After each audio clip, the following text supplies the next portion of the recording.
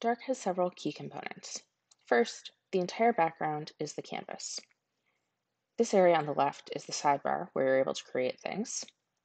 By clicking or hitting Command K anywhere on the canvas, you're able to access the Omnibox.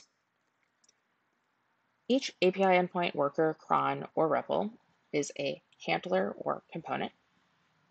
And then each handler component has incoming traces to the left and has a live evaluation of the code for that trace in this box, which is the live value. Each trace also has a return value below. When we're referring to Dark in the documentation, these are the words we'll use most often to refer to these pieces of the product.